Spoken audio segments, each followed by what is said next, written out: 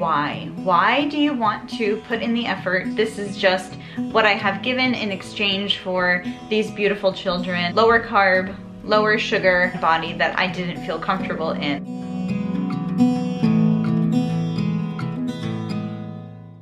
Hey there, welcome back to Old World Home. My name is Hilary, and in today's video I wanna share with you how I lost the baby weight after baby number four. As with any goal in life, you have to figure out your why. Why do you want to put in the effort to accomplish this thing? Why do you want to make it a priority? And for me, I had a couple reasons why I wanted to finally shed the last of the baby weight.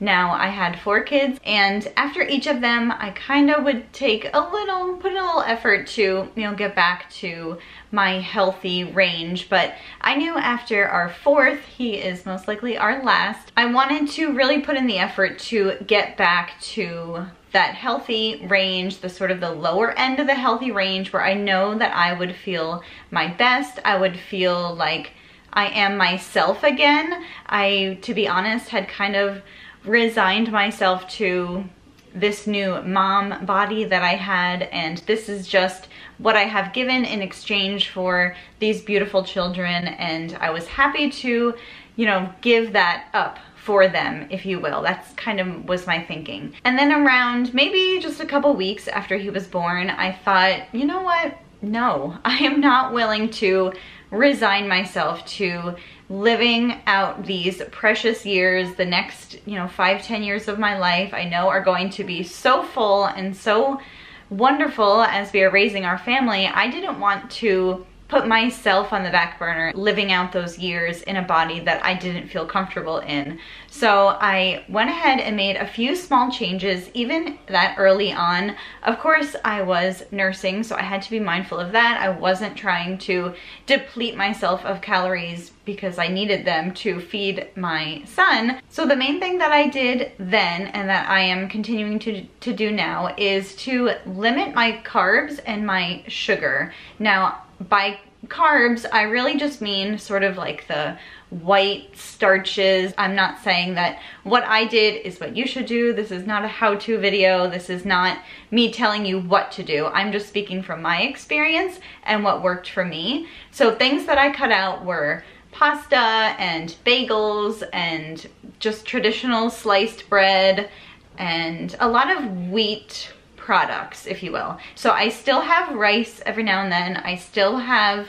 barley and oatmeal. I still do have starches, potatoes, corn, things like that. I just am limiting more of the wheat products. And so I switched to like an Ezekiel bread, a sprouted whole grain bread. And like I said, I still have oatmeal. And then what I've been doing is I've been trying to skip the carbs altogether at dinner time and just focus on eating them earlier in the day so that I have time to kind of work them off. Again, nursing, it definitely burns calories. So again, I didn't want to be calorie deficient by any means, but I just focused on eating them earlier in the day.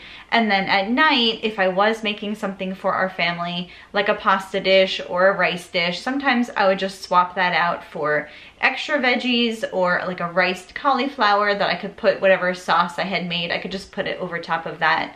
And I would feel just as satisfied and I actually love going to bed not feeling super full and uncomfortable because then I would wake up feeling kind of bloated and then I would have lower energy in the morning when when you're not getting sleep as a new mom you you know you want to have as much energy as you can which was another of my whys that I wanted to really put in the effort to shed those last few pounds was to just have the energy to keep up with my kids, to go out with them, play with them, carry them, and I wanted to just feel my best so that I could give my best to them. And then as far as sugars that I would limit, again, during the week for the most part, I was kind of having very low additional sugar. I would still have fruit, I would still have natural sugar, and I would still have some refined sugar like I would put in my coffee, or if I had like a sweet treat, I would just have it in the afternoon instead of in the evening. And I still was having some sugar, but I was just really trying to be conscious of it and really dialing back the amount that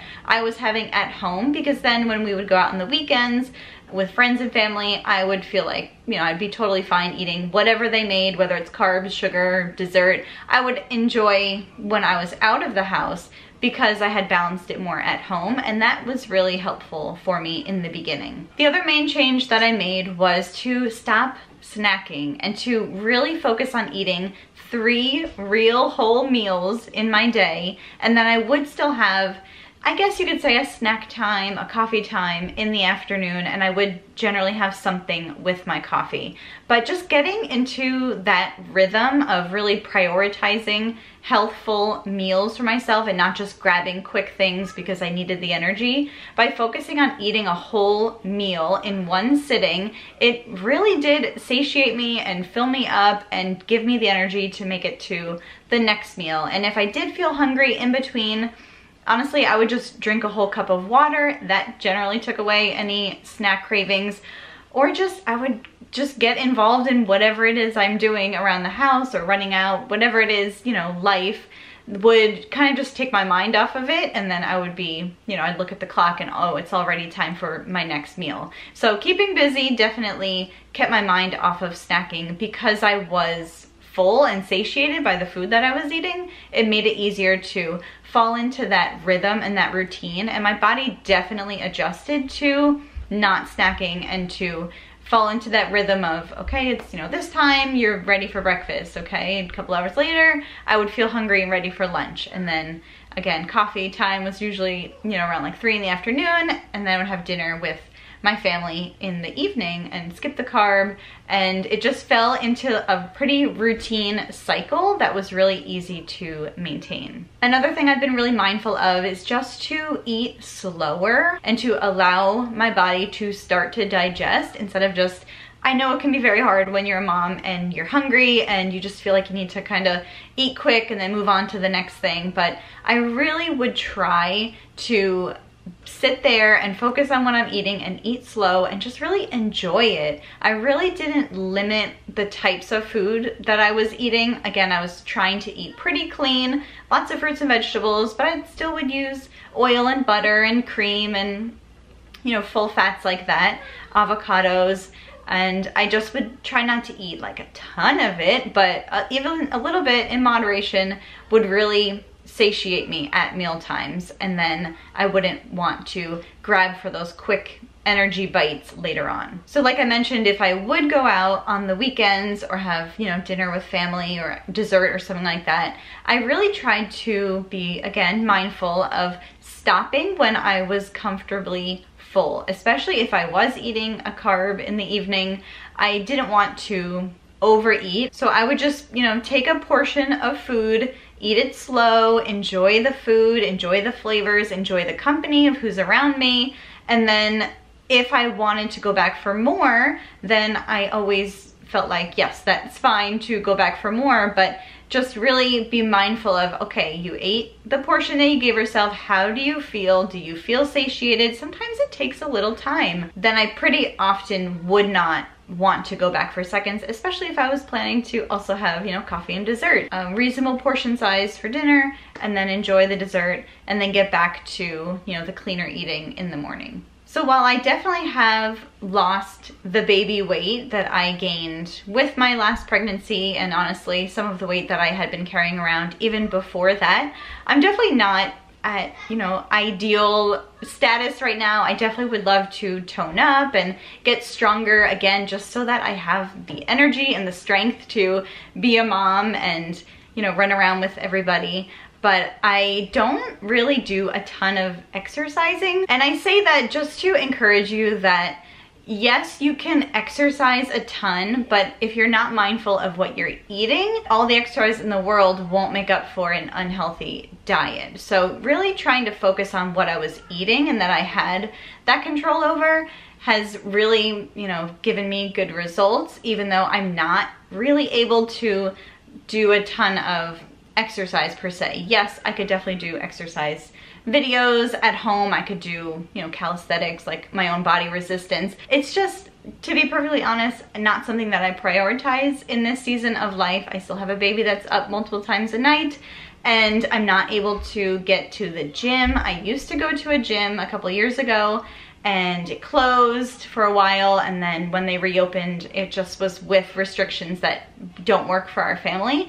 So I haven't been able to get back out. I don't know if I will ever join a gym again. I just try to find movement and resistance where I can. So again lifting my son and carrying him while I'm doing things helps me to build up my arm strength. I do like the resistance of holding him and vacuuming or cooking even just running up and down stairs with the laundry, not at the same time as I'm holding him, but carrying our baskets up and down the stairs and just running here and there in life around the house, cleaning.